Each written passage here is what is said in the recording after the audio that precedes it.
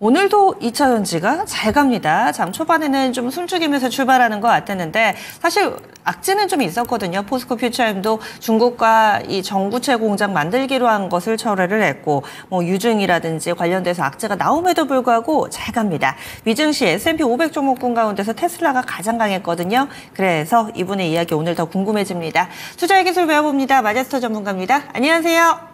네, 안녕하세요. 마제스터입니다. 네, 오늘은 어떤 이야기 준비하셨어요? 예, 테슬라, 엔비디아, 자, CPI. 자, 요 세 포인트를 말씀드리겠습니다. 네, 테슬라 지난달에 판매도 양호하게 이루어졌다고 하고 주가도 상당히 좀 강했습니다. 국내 2차 전지 종목군들도 속속 눈에 띄는 탄력을 보여주고 있는데요. 의견 알려주세요. 네.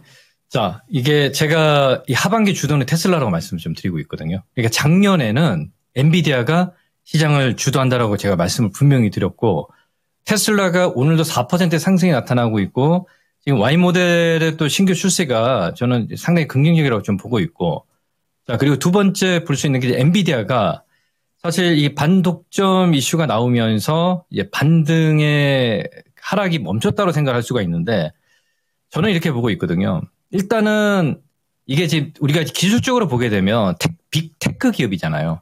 예. 시가총액 큰 기술주이기 때문에 이거 5일선이 안착을 하면서 매매를 해도 상관이 없다고 보고 있거든요. 그러니까 지금 무슨 얘기냐면 이렇게 5일선이 돌파하는 시점들, 자, 이런 시점들, 그죠? 이런 시점에서 매수를 해서 상관없다고 보고 있습니다. 근데 오늘 마감은 일단은 아직까지 5일선에 안착이 되지 않았기 때문에 조금 더 기다리는 전략이다. 이렇게 말씀을 좀 드리겠고요.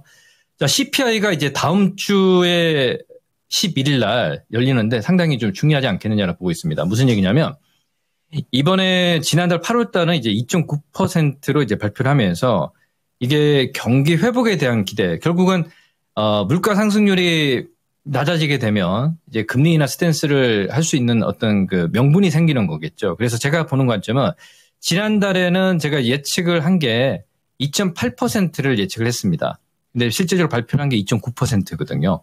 다음 주를 발표를 하는 게 저는 2.6 정도로 예상이 되지 않겠냐라고 보고 있습니다. 그래서 어, 어제 그 ISM 제조업 지수가 어, 47.8, 9 이렇게 발표를 하면서 예상치를 하회하는 모습이 나타나면서 경기 둔화에 대한 어떤 우려감이 나왔습니다만 그건 사실 전반적인 긴 흐름을 보게 되면 이게 침체의 어떤 그 위치에 있거든요. 무슨 얘기냐면 제가 계속 좀 말씀을 좀 드리고 있는데 이 보는 통화량 자체가 지금 줄어들고 있는 상황이 좀 보여지고 있는 구간이거든요. 그래서 이건 결국 뭐냐면 양적 완화를 한 이후에 QT를 진행한다는 얘기는 그만큼 이제 약간의 이제 명분 자체를 어 만약에 이제 우리가 이제 CPI가 2.6, 2.5 완, 평균 물가 도입제로 이제 2.5% 이하로 내려가게 되 게 되면 또 시장의 분위기는 바뀔 수밖에 없습니다. 그, 그 점을 참고하면서 체크를 하면 되겠다 말씀을 좀 드리겠습니다.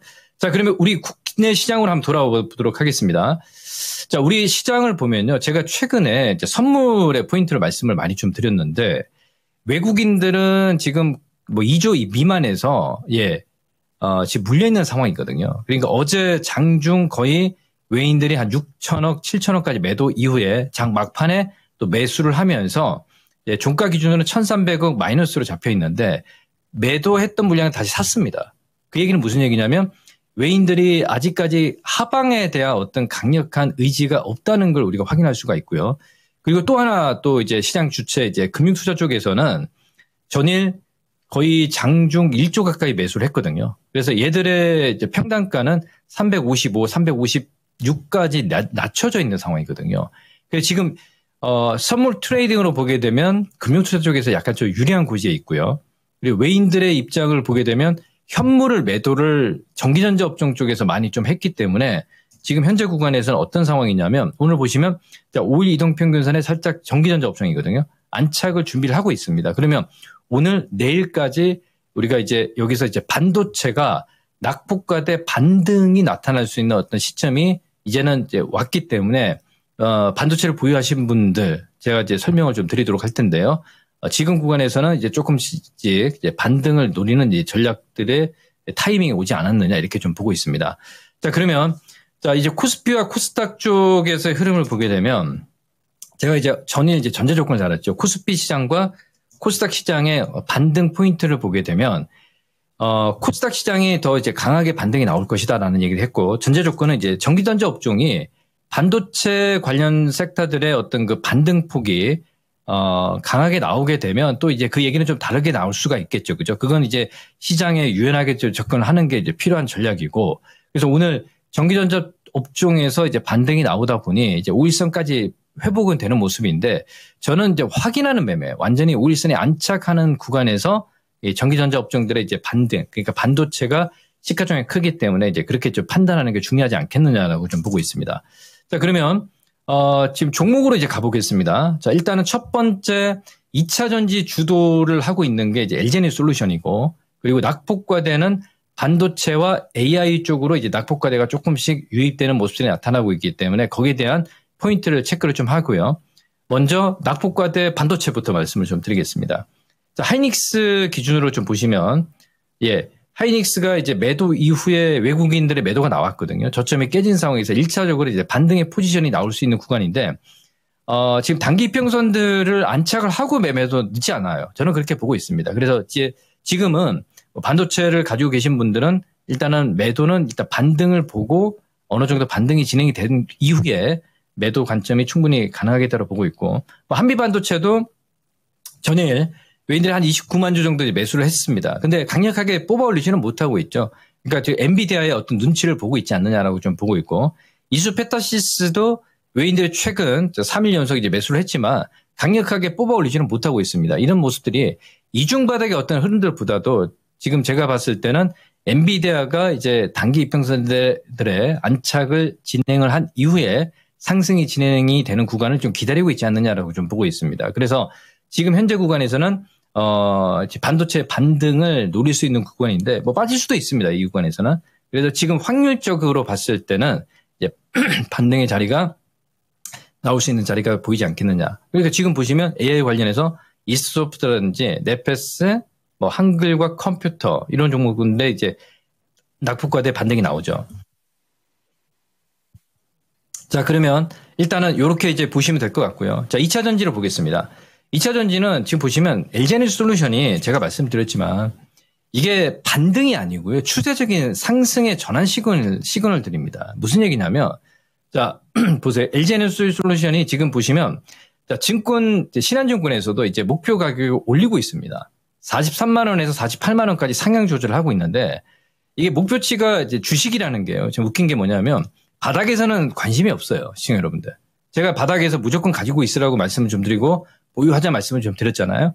그래서 그 이후에 지금 35에서 40%까지 수익이 나오고 있습니다. 이 짧은 매매가 아니라는 겁니다. 그래서 제가 보는 관점은 하반기 쪽에서는 제가 최근에 계속 말씀을 좀 드렸지만 금리나 수혜 섹터로 2차 전지가 무조건이다 말씀을 좀 드리고 있거든요. 그리고 오늘 LG에너지 솔루션 4% 급등이 나오고 있습니다. 만약에 이게 짧은 어떤 시세로 보시는 분들 같은 경우는 이게 이제 2차 전지가 없은, 없는 사람들 같은 경우는 올라오는 게 좀 두렵겠죠. 하지만 본격적으로 이게 구조 성장에서 이제 악재가 다 끝나는 상황이기 때문에 이제 올라올 수 있는 건 수급까지, 수급까지 받쳐주니까 예, 강하게 올라갈 수밖에 없는 상황이거든요. 그래서 제가 보는 관점은 이제 시작에 어떤 그 가, 어제도 강력 매수 말씀을 좀 드리고 있고 빠질 때마다 매수 포인트 충분히 가능하다는 말씀을 좀 드리고 있습니다. 그리고 삼성 SDI도 그 뒤를 따라 따라가고 있는 상황인데요. 예, 오늘도 뭐 견주하게 단기 이평선들의 어, 안착을 나타내면서 이제 외인들 창고에 이제 매수가 유입되는 상황인데 상당히 좀 긍정적이다 이렇게 좀 볼 수가 있겠고요. 그리고 자, 첫 번째 이제 오늘 전구체 관련해서 제가 말씀을 좀 드리도록 할 텐데요. 자, 오늘 LS 그 에코프로 머티리얼즈가 6% 급등이 나오고 있거든요. 자, 그리고 하나 또 포스코 퓨처엠이 이 화유 코발트하고의 이제 그 합작법인. 자, 요거 말씀을 좀 드리겠습니다. 예, 합작법인에서 이제 그 조인 화유 코발트하고 이제 조인트 벤처를 이제 중단하기로 했습니다. 그래서 이 얘기는 무슨 얘기냐면 저는 이렇게 보고 있거든요. 이게 나쁜 기사가 아닙니다. 어차피 이 IRA 법안에서 이그 수혜 그 보조금을 받으려면 합작법인 중국 법인은 25% 지분 이하를 충족을 해야 되거든요. 그게 큰 의미는 없습니다. 그래서 어떤 그 지금 눈치 보기를 하고 있기 때문에 악재는 아니다라고 좀 판단을 좀 하고 있습니다. 그래서 지금 오늘 어, 에코프로 머티리얼즈가 지금 내재를 한 상황이기 때문에 그 수혜를 좀 받는 모습들이기 때문에 뭐 엎치락뒤치락 하면서 올라오는 상황이거든요. 그래서 굉장히 좀 긍정적이다 이렇게 좀 보고 있고 ESS 쪽에서 지금 서진 시스템이 바닥을 찍고 지금 올라오고 있거든요. 그래서 2차 전지 쪽에서는 순환매가 이어지고 있기 때문에 제가 보는 관점은 눌릴 때 매수를 하는 포인트를 잡고 어, 이 방송을 좀 들으면 굉장히 도움이 되지 않겠냐라고 좀 판단을 좀 하고 있습니다. 그래서 지금은 어, 하반기 이, 그 big tech 기업의 주도는 테슬라, 우리 국내 시장에서는 셀단하고 양극재, 그 전구체 그리고 장비주도 순환매를 타면서 어, 보는 그 매매를 하는 포인트를 말씀을 좀 드리고 마무리하도록 하겠습니다. 알겠습니다. 자세한 말씀 고맙습니다. 예, 감사합니다. 마저스입니다. 네, 지금까지 투자의 기술 함께했습니다.